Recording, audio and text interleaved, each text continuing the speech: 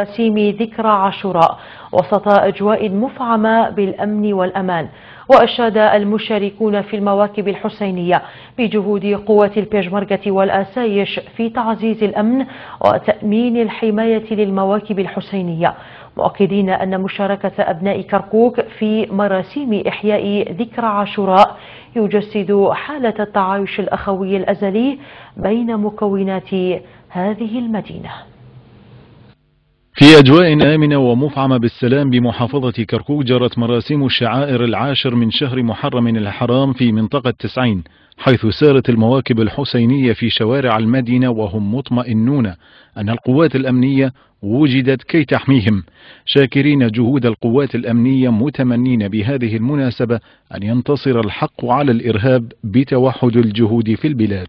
ولله الحمد الحالة الأمنية وخصوصا في كركوك ومع هذه المواكب الحسينية وعموما الأجواء الأمنية الحمد لله بحالة طيبة وجيدة بهمة الغيارة من أبناء آه، المحافظة وأبناء البلد وأسأل الله أن يوفق الجميع آه، لأن تمر الذكرى وهذه المناسبة بلا حوادث وإن شاء الله لحد الآن كما أعلمون الإخوة أن لم تحدث هناك حوادث وهذه كلها بجهود وسعي الغيارة من الشرطة المحلية وقوات الآسايش أتمنى أن يتعاون الجميع في هذا المجال لأننا كلنا مستهدفون وكلنا أعداء في نظر العدو.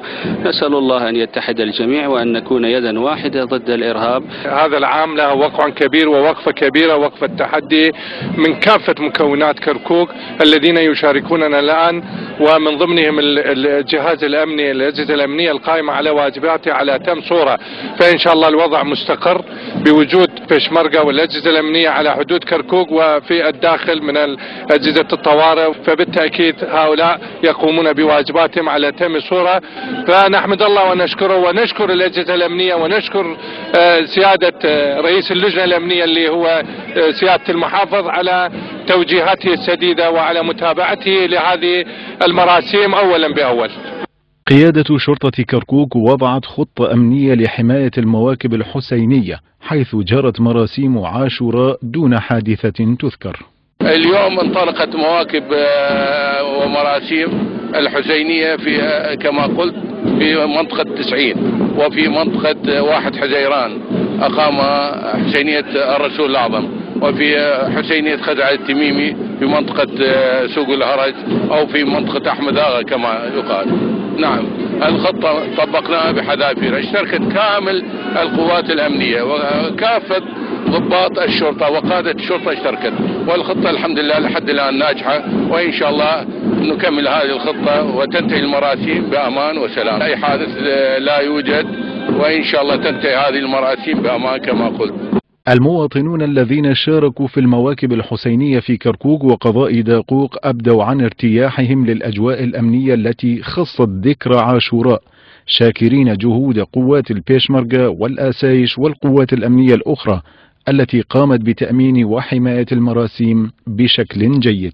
في كركوك مارسنا الطقوس الدينية الخاصة لنا في آه، عاشوراء في العاشر محرم في منطقة 90 في كركوك. ولله الحمد وذلك بفضل كافة القوات الأمنية المنتشرة في آه، كركوك من الطوارئ من الشرطة من الأسايش وكل القوات التي ساندت هذه لإنجاح هذه المراسيم اليوم. والحمد لله والشكر لله. هذه المراسيم قد مرت بشكل سلس نتيجة الجهود المبذولة من قبل الأجهزة الأمنية المتمثلة بقوات الشرطة. نسأل الله العلي القدير أن يمن على بلدنا وعلى مدينتنا بالأمن والأمان. هناك تنسيق مشترك بين القوات الأمنية بين القوات الأمنية من آه، القوات البيشمركة وقوات الأسايش وكل القوات الأمنية الموجودة في المنطقة مشاركة ومتعاونة ومتماسكة ومنسجمة في هذه المناسبة لإنجاح وسلامة آه، الزائرين وسلامة المعزين.